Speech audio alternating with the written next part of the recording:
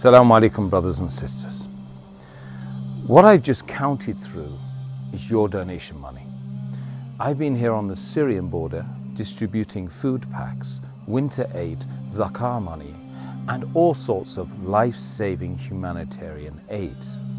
The thing I love most about these trips with One Ummah is that 100%, yes, every single penny of your donation goes to help those in need.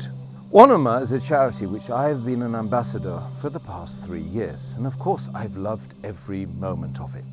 With these amazing groups of people, I visited the Rohingya refugees, the Syrians in Lebanon and Turkey, and helped oversee many of their life-saving projects. Today is the day that you can get the chance to support these projects, giving yourself a return on your investment like no other. Hear me out. The Messenger of Allah وسلم, said, When a man dies, his deeds come to an end, except for three things.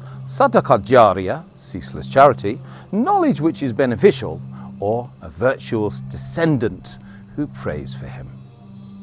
The return on your tiny investment today will be a huge sadaqah jariyah, inshallah.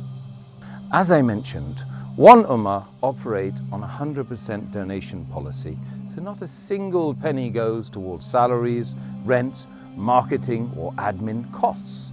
These expenses are paid through other means, one of which is our Sadaqah Jariyah Fund.